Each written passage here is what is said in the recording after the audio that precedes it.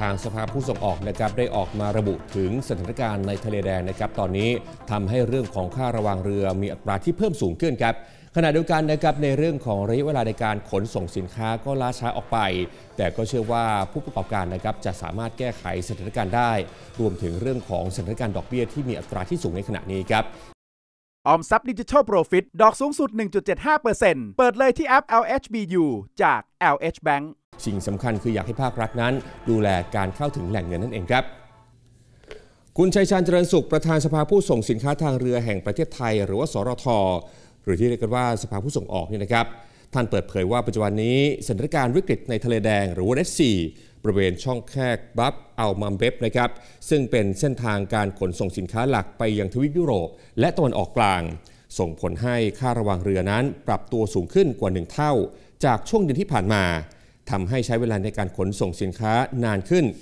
15-20 วันครับซึ่งอาจทำให้การขนส่งสินค้านะครับมีเรื่องของราคาที่เพิ่มขึ้นได้ ราคาสินค้าก็อาจปรับเพิ่มขึ้นตามไปด้วยนั่นเองครับ ดังนั้นเองนะครับเพื่อแก้ไขปัญหาทางสรทก็แนะนำให้มีการนำเรือใหญ่ เข้ามาขนถ่ายสินค้าในไทยมากยิ่งขึ้น หนุนกิจกรรมการยกระดับท่าเรือสงขลา โดยการขุดลอกร่องน้ำลึก ทั้งนี้เองเพื่อลดต้นทุนทางอ้อม และเป็นการอำนวยความสะดวกให้กับผู้ประกอบการ 2. นะครับเพื่อให้การส่งออกในปี 67 อยู่ในทิศทางที่สามารถเติบโตได้ หน่วยงานที่เกี่ยวข้องต้องบริหารจัดการปัจจัยเสี่ยง ที่ส่งผลกระทบต่อต้นทุนผู้ประกอบการโดยตรง เช่น ต้นทุนพลังงาน ค่าไฟฟ้า ค่าจ้างขั้นต่ำ อัตราดอกเบี้ยให้อยู่ในระดับที่เหมาะสมนะครับขณะเดียวกันก็ควรมีมาตรการสินเชื่อดอกเบี้ยต่ำหรือว่าซอฟท์โลนเพื่อส่งเสริมสภาพคล่องให้กับกลุ่ม SME จากความผันผวนที่คาดการได้ยากครับ ทะเลแดงเนี่ยเป็นสิ่งที่เกิดขึ้นเร็วมากนะครับ ใช้เวลาเพียงแค่ไม่เกิน 5 วันทำให้ เกินเกิดความสับสนโอรมานมากนะครับ เพราะว่าอะไรเพราะว่าเส้นทางนี้เนี่ยถือว่าเป็นเส้นทางหลักที่ขนส่งระหว่างทางด้านเอเชียแล้วก็ยุโรปนะครับประมาณ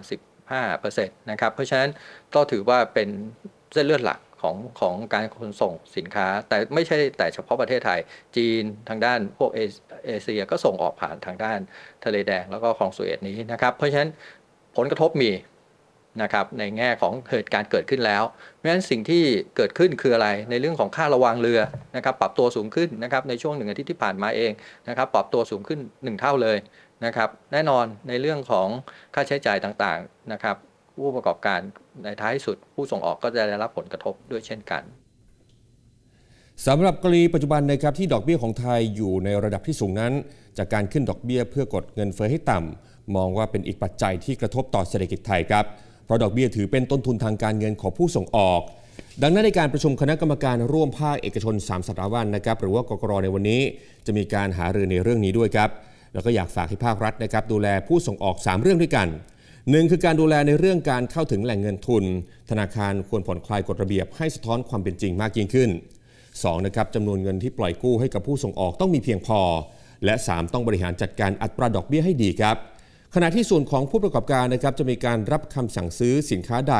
ก็ต้องดูให้รอบคอบด้วย พร้อมวางแผนการผลิตและการขายให้รอบคอบในภาวะที่เศรษฐกิจนั้น ยังมีความเสี่ยงหลายด้านครับ ขอบคุณที่ติดตามรับชมย่อโลกเศรษฐกิจนะครับ อย่าลืมกด subscribe กดติดตาม กดไลค์และกดแชร์ และคุณจะไม่พลาดทุกคลิปวิดีโอดีๆ จากทีเน็นช่อง 16 ครับ